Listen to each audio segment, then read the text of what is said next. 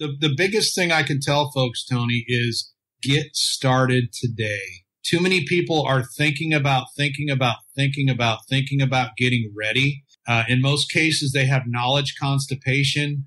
Want to achieve your dream goal? Listen to the tips from the guy who made it happen to himself. I dropped 70 pounds going from a 4X to a 1X in four years. I went from 10K to six figures without a college degree. You too can get the goals you set. It's time to live your best life now. I'm your host, Tony Woodall, and welcome to Goal Getting Podcast. Hello, goal getters. This is Tony Woodall, your host with Goal Getting Podcast. Today's podcast is brought to you by Audible.com.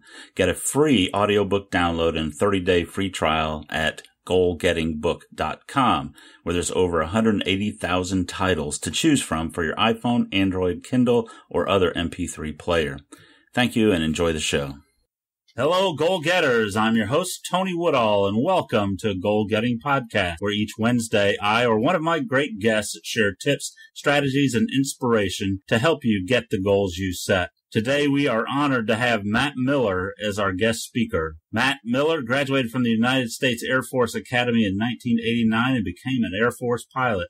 Although that wasn't a goal of his, he excelled and served for nine years. After leaving the Air Force, Matt worked in both medical and advertising fields and was a top producer in both fields. Matt had a goal of working for himself, and after being inspired by school kids, soon ventured out on his own in 2011 to grow his school fundraising company, School Spirit Vending. Today, Matt and his team provide passive fundraising for over 1,500 schools in over 23 states. Matt, first let me thank you for your service to our country and also for being a guest on Goal Getting Podcast today.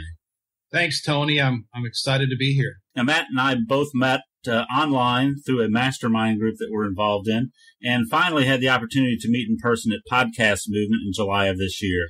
So, Matt, tell our goal getters a little bit about yourself, uh, about what you've done, what you're doing today, and how things are going. Yeah, Tony. Um, I grew up in the Chicago area and uh, wasn't quite sure what I wanted to do when I got you know done with high school.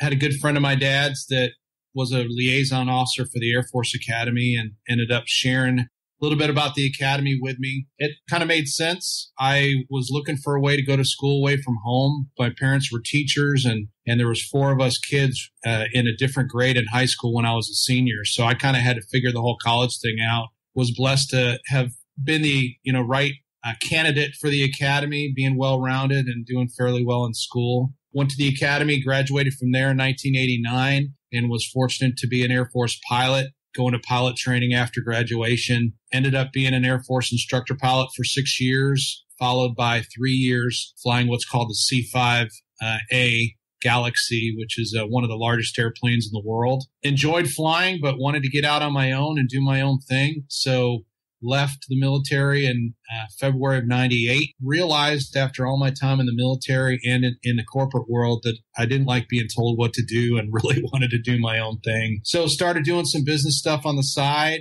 Initially selling books on Amazon and eBay, did some multi level marketing stuff, recycled aluminum cans for a while, did just kind of whatever we had to do to get by. Had a buddy of mine from church that happened to mention that he had gotten a couple of gumball machines and he and his young daughters were doing some stuff together with that. He was teaching them about making money and business and everything. And I remember that conversation and thought maybe I could do vending. I had read Robert Kiyosaki's book, Rich Dad, Poor Dad at that by that point and was really looking for a way to develop income passively. So started out with a $32 used gumball machine on eBay and over a year and a half's time grew that to about 150 locations around the Houston area.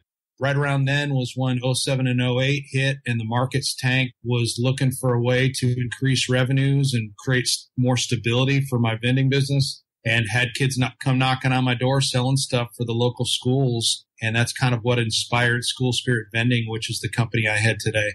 Wow that's fantastic. Now you you have a lot of experience with the military and got out of there and that wasn't a career that you wanted to do full time. I, read or heard that you didn't necessarily want to be a pilot. That wasn't your original goal and uh, that you managed to work through that, I guess, and became one.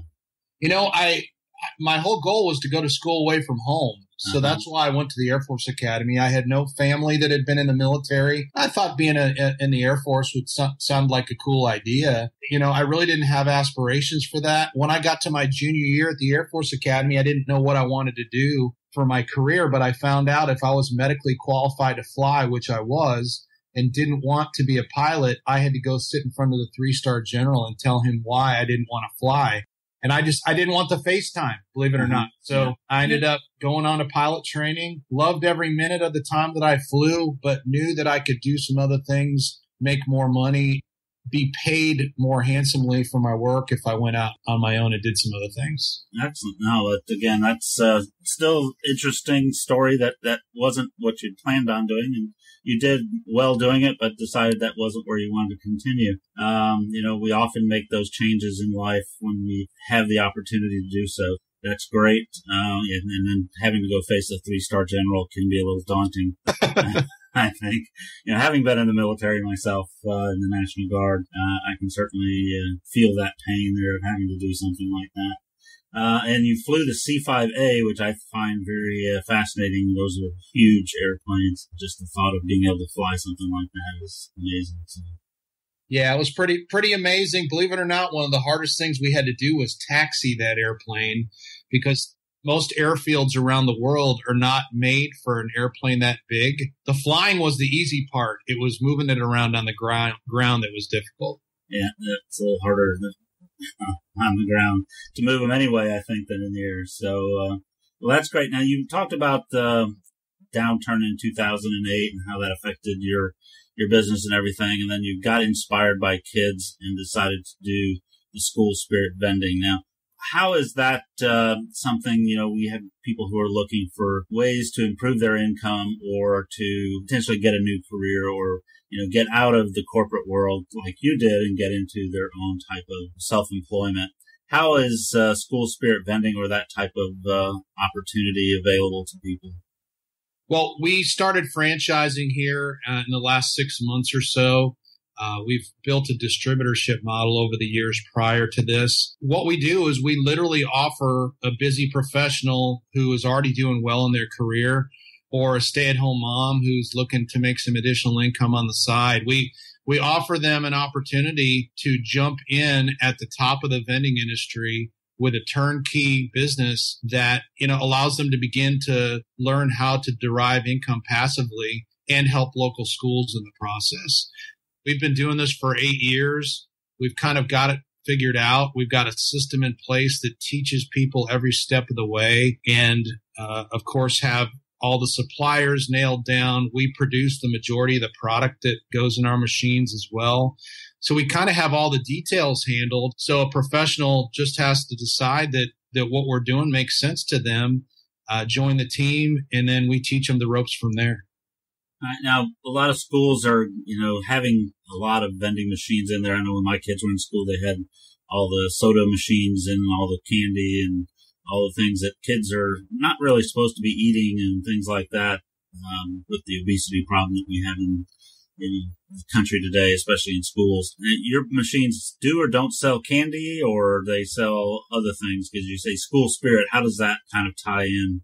We, we actually sell stickers, believe it or not. We, we custom design mascot stickers for the mm-hmm. schools. Okay. And then we place sticker machines in the schools. Those mascot stickers are vended from the machines along with whatever else the kids are into at the time. You know, NFL is huge this time of year. We've uh, Minions because of the Minions movie and the Despicable Me uh, franchise has been really, really popular for our kids. Believe it or not, it's stickers. There's no calories in stickers. There's no junk food involved, so we don't have to worry about the the uh, restrictions that the government's putting on schools every day as far as healthy eating and all that because uh, we don't fit into that category, thankfully. Yeah, well, it's good, good business model there.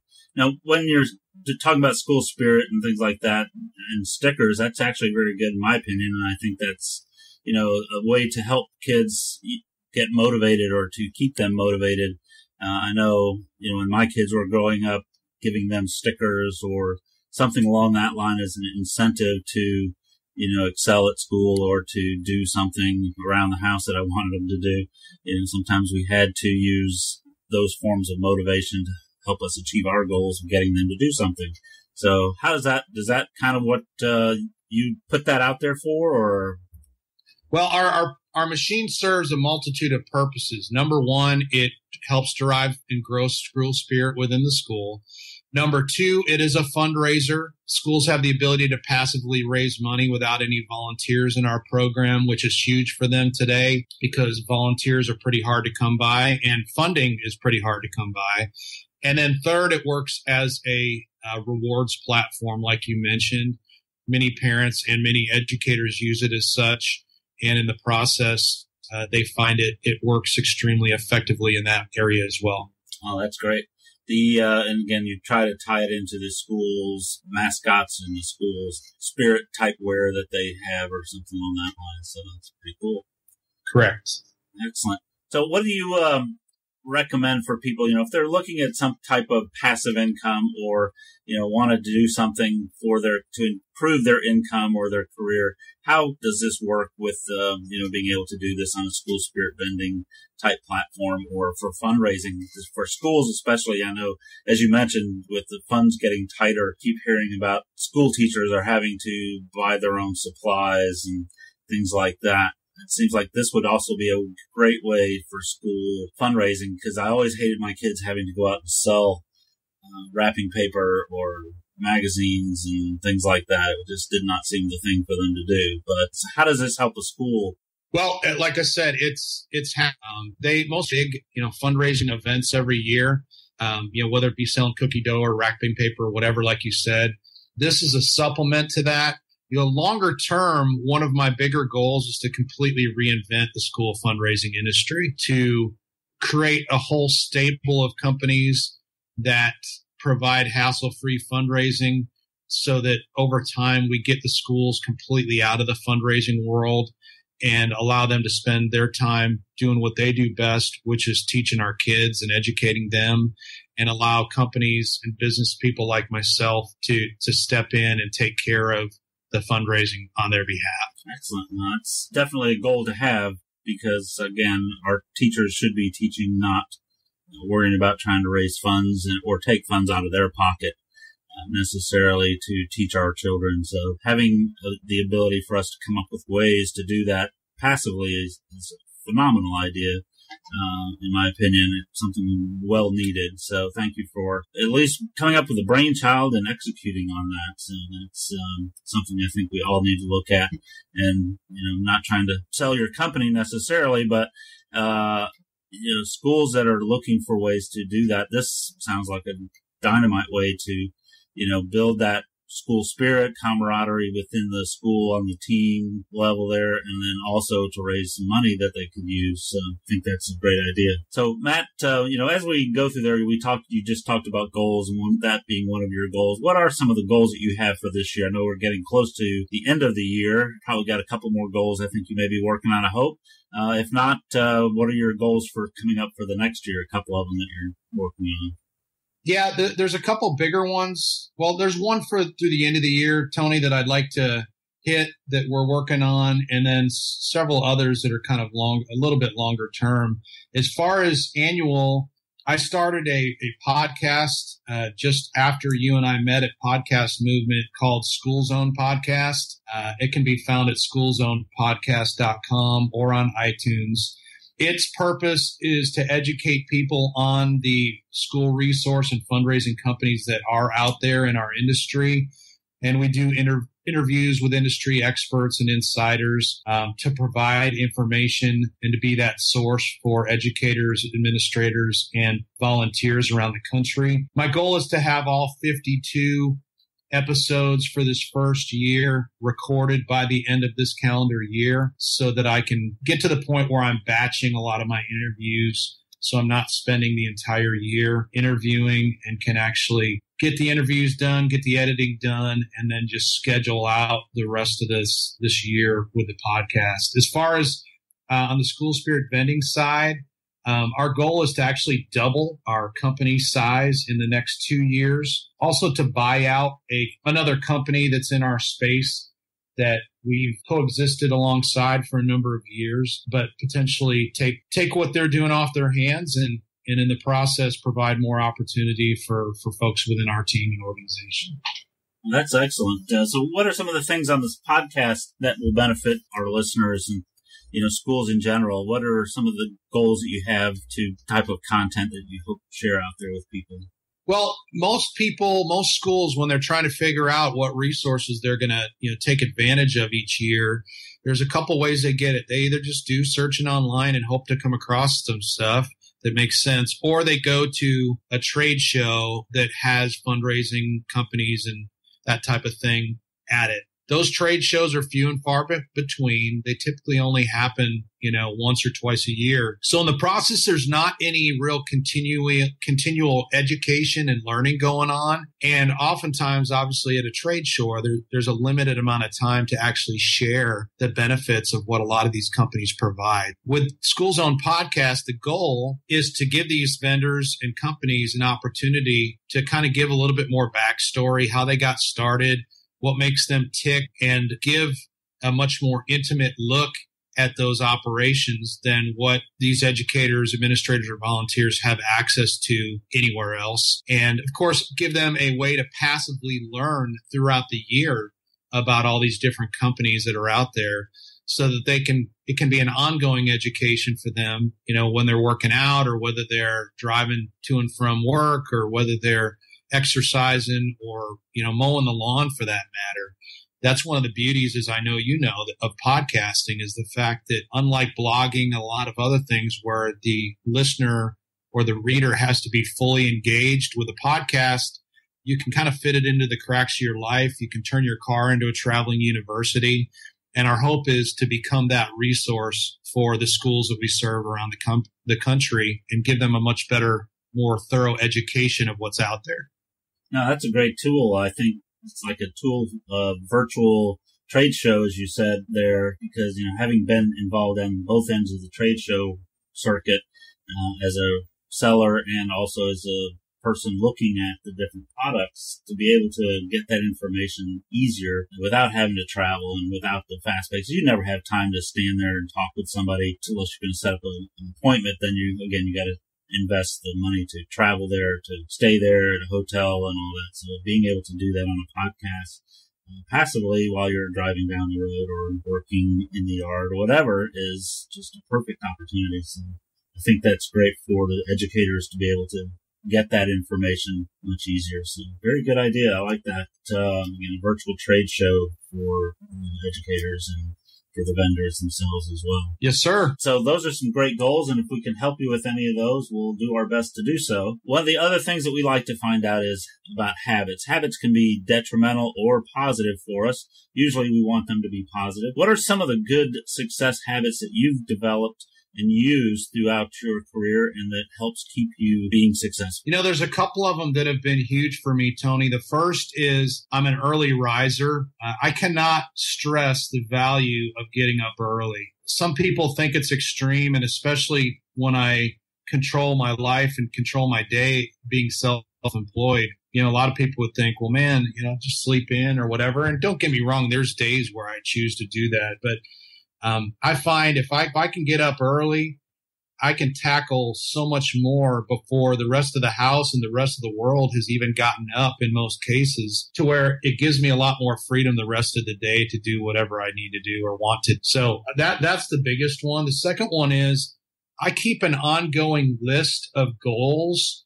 Uh, I've got a coach. I know you know Aaron Walker. Aaron has been a coach of mine here for about the last uh, 18 months or so. One of the things that he encouraged me to do is to break up my year into quarters and to set quarterly goals. In order for me to kind of get my head around that when he and I started doing that here uh, a while back, I ended up just putting together a spreadsheet that had a, a, whole list of tasks that needed to be accomplished on a quarter each quarter. That has been huge for me because it's allowed me to take a small enough chunk of the year and focus in order to continue to move my companies and my progress forward. It's something that as I'm going through coaching calls with him, I can email him a, a weekly update to that spreadsheet.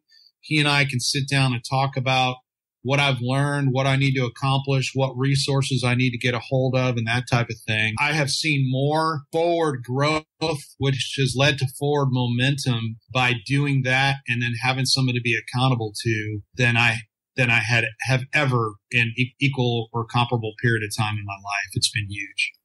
Excellent. That is one of the stalwart uh, portions of the goal getting program is uh, having a list like that to break your goals down into chunks that you can work with, but also having a worksheet where you can track what you're doing every single day and keep up with that. That is a very valid tool that we use frequently and recommend actually have a goal getting worksheet like that, the goal maintenance and goal tracking worksheet on the goal getting program, uh, which our listeners can get by going to goalgettingpodcast.com slash action and get our action plan and they will be able to start tracking that. So that's a great tool and I'm glad that Aaron does that for you. And you mentioned Aaron and accountability and I know that we're we met in a mastermind group and it was Aaron's mastermind group that we're in. You believe, and I do as well, that accountability has helped you with that. You know, and I think that's one thing that most people don't ever get into in their setting goals is having an accountability partner or a mastermind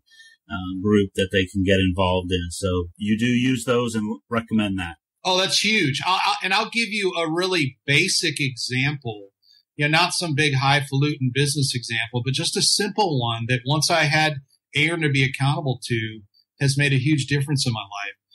When I got started working with him, the first thing I had to do was fill out a personal assessment. And one of the questions on that assessment is there anything that you're doing in your life right now that you'd like to stop doing? As an aircrew member and pilot for years, I didn't drink coffee. I drank, drank Cokes and then eventually transitioned to Diet Coke. And I was that guy that, you know, had five, four, five, six Diet Cokes a day. And so I put it in on that assessment that I'd like to stop drinking sodas and Diet Coke. Well, I'll never forget. I was, this is about a year, a little over a year ago. Aaron sent me a text message as I was on the way to church one morning, just saying, Hey, listen, when we talk this week, I want to know what your plan is for getting off the Diet Coke. I don't want any wimpy excuses. Well, I was at church. I had had a Diet Coke I was drinking on the way. Once church was over, I finished that Diet Coke and I'm now over a year without having had any soda of any kind. And all it took was somebody that I respected calling me on it. And then a couple of times throughout the year, he'd send me a text just asking me how I was doing. And I haven't missed it. I haven't had one in that period of time. And it was because I had somebody that cared enough to just call me on it and, and hold me accountable that, that I don't have that habit. Oh, that's phenomenal. And it really does take that a lot of times, you know, somebody to do that, to hold you accountable. And we just never get into just thinking about it unless we, you know, sometimes hear other people talk about it. Cause, you know, I know I didn't think about getting into a mastermind group until I realized what power it had in listening to others. So, you know, hopefully when you're doing goals and setting goals, you need to have an accountability partner. And it needs to be somebody like Aaron did with you. No excuses, you know, no wimpy excuses for it. Makes you stay to it and, you know, hold you accountable. Exactly what their title is, the accountability partner. Yes, sir. Yeah, so that's great. Thank you for sharing that. I love working with Aaron. He's a great guy and very inspirational. So great being a part of that group. Now, um, we all do a lot of reading and try to get more knowledge in. We have to keep reading and getting educated ourselves a lot of times. What are some books that you recommend to someone trying to achieve their goals? Well, uh, the book that I recommend to everybody because most people don't understand the different ways of making money is uh, Rich Dad Poor Dad by Robert Kiyosaki. That book completely changed my life 10 years ago. It made me look at the world and made, made the, me look at the way I spent my time from a completely different angle and vantage point. That has been huge for me. Another book that was huge for me was Tim Ferriss's The Four Hour Work Week once again opened my mind to what the possibilities were, opened my mind to the resources available today, with the technology that we all have access to on our smoke,